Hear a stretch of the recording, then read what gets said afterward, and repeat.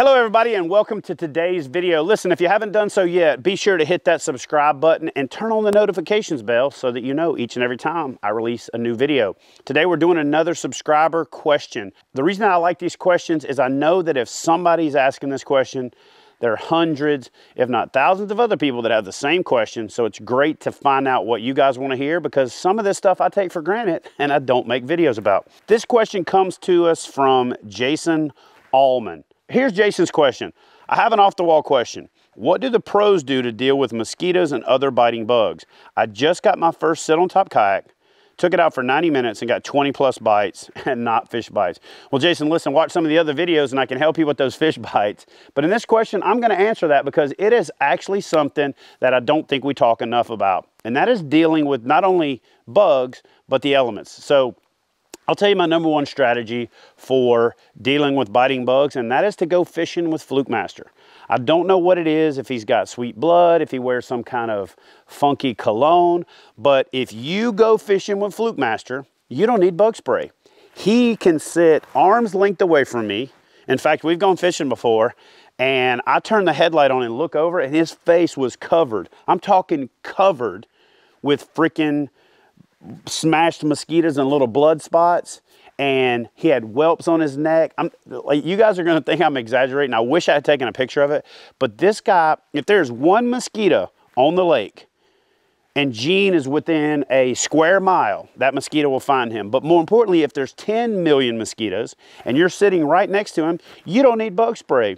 Fluke Master is the best bug spray ever. I've told the guy he needs to pretty much like you know, bottle up whatever it is that makes uh, bugs attracted to them and sell it as uh, bug repellent. So to answer your question in all honesty, I'm gonna be straight with you. A Thermacell is by far the number one way that I repel mosquitoes.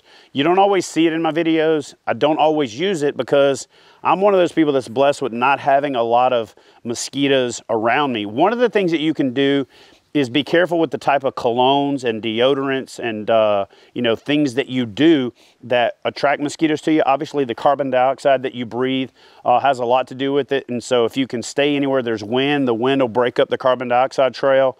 Um, but you know, the fact is you're going to always encounter it. Um, so for me, 100% DEET uh, Bens, B-E-N-S. It comes in like an orange bottle. I'm not affiliated with either of these companies, uh, not Bens or um, uh, Thermacell, but those are the two. Those are the one-two punch. If it really gets so bad, it's in my first aid kit. I have it with me at all times just in case, or in case the angler with me uh, really needs it. But Ben's 100% DEET, comes in a little orange bottle. Uh, it's phenomenal. I'm not a big fan of the aerosol stuff. Uh, I just don't like it. I don't think it lasts as long. You can't control where it goes. Uh, it ends up all over your stuff. And if you get um, bug repellent on a soft plastic lure, and a lot of times, a lot of times it causes them to disintegrate. Uh, it deteriorates the finish. Uh, it can ruin a hundred dollar lure, fifty dollar lure, twenty dollar lure, or it can ruin a five dollar pack of soft plastic. So I just steer clear of the aerosol stuff, and definitely don't put your bug repellent anywhere near your soft plastics. It will absolutely cause a monumental fail. Um, but the Thermacell. The Thermacell is the ticket, man. I, I, I, put it on the back of my seat. Uh, I put it underneath my seat a lot of times so that it still has the effect, but it doesn't show up. Uh, maybe I shouldn't be hiding it, but again, the Thermacell is probably my number one ticket. I get that from deer hunting. A lot of times I put it up over my head, uh, and it helps me out, especially early in bow season when the mosquitoes are out real bad. But uh, great question, something that we don't talk about. But uh, yeah, number one, Go fishing with Fluke Master. Number two, get yourself some Bens or a Thermacell, and I think it'll solve all your problems. And then just be cognizant of the cologne or perfume or hairspray or whatever it is you wear, because a lot of times that stuff, you know, that additional non-natural stuff is kind of what brings them in in the first place. And they always say uh, ounce of prevention is worth a pound of cure. So yeah, anyway. All right, love you guys. And I got to thank Gene for being my favorite um, insect repellent and uh, bug deterrent. Appreciate you, brother. And uh, yeah, thanks for watching today's video. and uh, give it a big thumbs up if you enjoyed it. Don't forget to leave a comment, and I'll see y'all next time for some more uh, kayak bass fishing.